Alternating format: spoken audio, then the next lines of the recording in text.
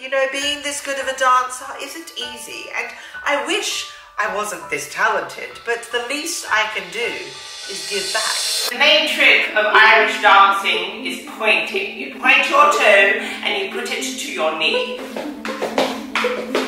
Lyrical is all about touching your face. Forget what the rest of your body is doing and just feel.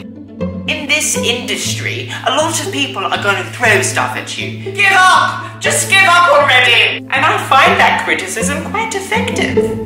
Follow exactly what I do. Body roll, hand, head, tap, tap. You're a lion. Let's face it, you're probably never going to get anywhere, but that's just the truth. And the truth is what dancing is all about.